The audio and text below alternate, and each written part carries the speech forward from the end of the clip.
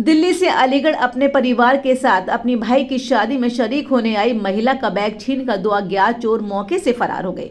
पीड़ित महिला के मुताबिक बैग में कई तोले सोने के आभूषण और एक लाख कैश रखा था, जिसे लुटेरे लेकर रफू चक्कर हो गए। पीड़ित महिला ने बताया कि उसके बैग में शादी में संग आई बेटियों का और दुल्हन के भी जेवरात रखे थे और साथ में एक लाख कैश भी था।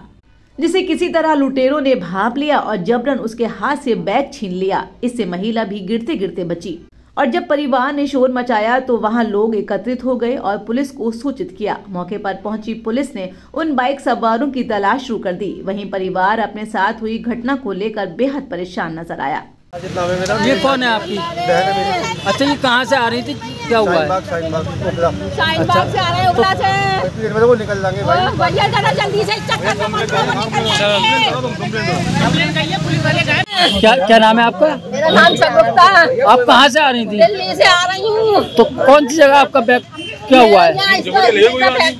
मेरा मैं गिर गई तो आपका सामान लगभग कितना था उसमें? उसमें मेरे कम से कम चालीस सोना है लड़ दुल्हन का। तीन लड़कियाँ शादीशुदा इनका मेरा। चकान गले की चैन मैंने सब उतार के रख दी मैंने कहा नहीं चलो। और एक लाख रुपए कैश लाई हूँ। अरे मेरे अल्लाह तो पे थे वो बाइक पे थे बाइक पे थे दो। छीन बाइक पे थे। हाँ। शा, शादी में कहाँ पे शामिल होने है ऐसे ही अपडेट के लिए आप देखते रहिए एटी न्यूज़ इंडिया साथ ही हमारे चैनल को लाइक शेयर सब्सक्राइब करना ना भूलें।